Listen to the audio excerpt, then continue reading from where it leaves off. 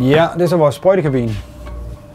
Der hænger et øh, sikkerhedsark herover, hvordan man korrekt holder sprøjte, omkring sikkerhedsregler, omkring malkoder.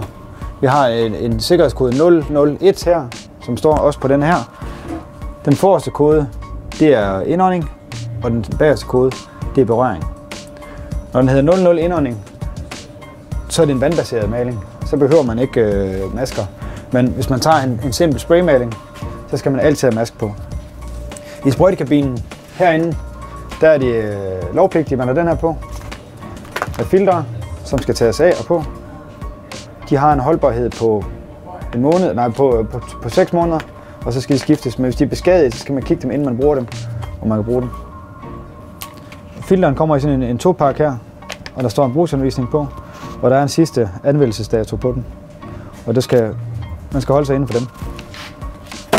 Påfører man sig handsker, gummihandsker, og tager en mask på.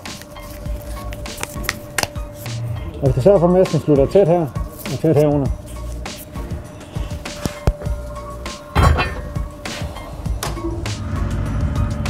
Tænder på sprøjtebilen.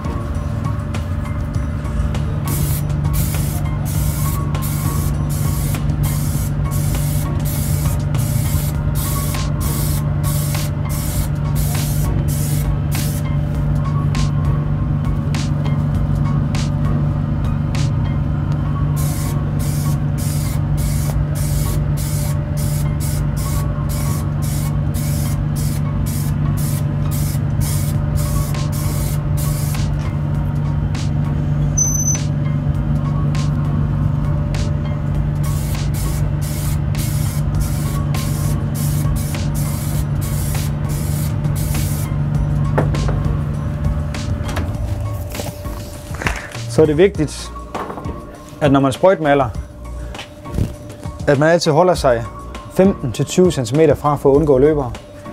Man kan se heroppe på den her øh, tabel, at hvis man kører en lige streg på emnet og holder sig 15-20 cm fra, så får man det pæneste resultat. Går man for tæt på, får man løbere. Går man for langt fra, spreder man ud.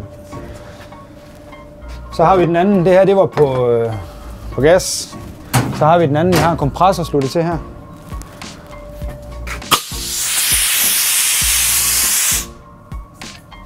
Det her det er så en sprøjtepistol. Sætter,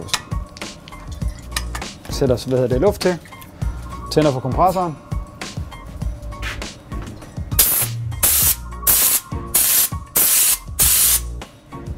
Sprøjter man med den i stedet for.